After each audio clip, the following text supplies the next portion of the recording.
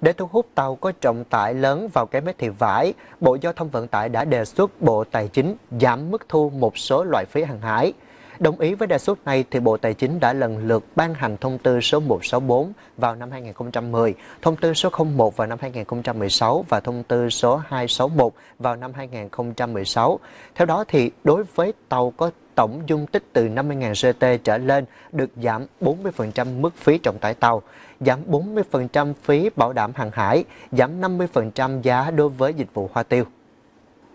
Việc giảm phí kết hợp với các giải pháp tăng cường cải thiện về cơ sở hạ tầng cảng và hệ thống giao thông kết nối với cảng biển Cái Mép Thị Vải thời gian qua đã làm hài lòng các hãng tàu. À, tuy nhiên, để thực sự thu hút các hãng tàu, các doanh nghiệp cảng cùng với tỉnh Bà Rịa Vũng Tàu tiếp tục kiến nghị Bộ Tài chính nghiên cứu giảm phí và lệ phí hàng hải.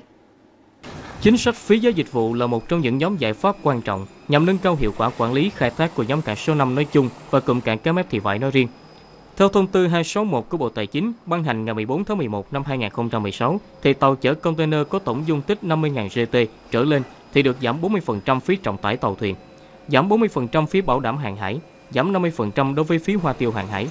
Do đó khu vực cá mép thị vải ngày càng thu hút được sự chú ý của các hãng tàu.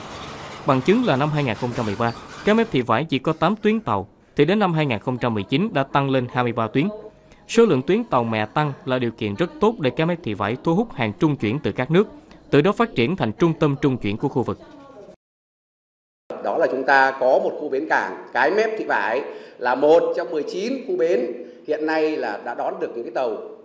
siêu lớn. Đến bây giờ là chúng ta một tuần chúng ta có 20 liner tức là 20 cái cái tuyến vận chuyển bằng tàu mẹ vào cái Betty bài và chúng ta đứng đầu ASEAN chỉ thua có mỗi ông Singapore để cho rằng là một cái thành công rất là lớn của chúng ta. Thông tư 261 của Bộ Tài chính sẽ hết hiệu lực vào ngày 31 tháng 12 năm 2020.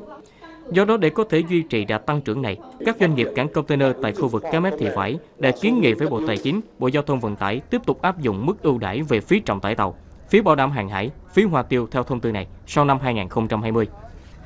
Song song đó, Bộ Tài chính, Bộ Giao thông Vận tải xem xét áp dụng mức ưu đãi giảm 40% về phí và lệ phí hàng hải đối với các tàu kích cỡ dưới 50.000 GT, tức là tàu feeder, còn gọi là tàu gom container. Hiện tại các chính sách giảm phí hiện chỉ mới áp dụng cho các tàu kích cỡ lớn mà chưa áp dụng với các tàu gom feeder. Đó là một bất lợi cho việc thu hút các tàu gom container vào cá mép thị vải, một phần không thể thiếu trong hoạt động trung chuyển quốc tế. Lệ phí và lệ phí hàng hải. Thông tư 261 của Bộ Thông Vận tải mà đến sang năm mới hết hạn thì sau đó thì chúng tôi mong muốn rằng là bộ giao thông vận tải đề xuất cùng bộ tài chính nghiên cứu để giảm cho các cái kích cỡ tàu tàu dưới 50.000 tấn là tàu loại tàu feeder để vào để có những lợi thế về về, về phí về lợi phí hàng hải vào để họ tiếp tục vấn đề làm vấn đề trung chuyển quốc gia và quốc tế khuyến khích các hãng tàu đưa tàu gom hàng feeder từ các nước về trung chuyển tại các mép thị vải, cần phải có chính sách ưu đãi về chính sách phí và lệ phí hàng hải cho những con tàu này. Hiện tại cảng CMIT ở khu vực cái mép đã đón tàu container siêu lớn, sức chở 18.000 têu và làm hàng hàng tuần. Đây là các con tàu mẹ đi tuyến châu Âu. Để phục vụ cho tuyến này, chắc chắn các hãng tàu cũng tính toán để đưa thêm các tàu feeder vào phục vụ. Việc giảm phí và lệ phí hàng hải cho tàu feeder sẽ góp phần thu hút được hoạt động của tàu gom feeder tại khu vực này và trung chuyển quốc gia sẽ nhờ vậy mà khởi sắc hơn nữa.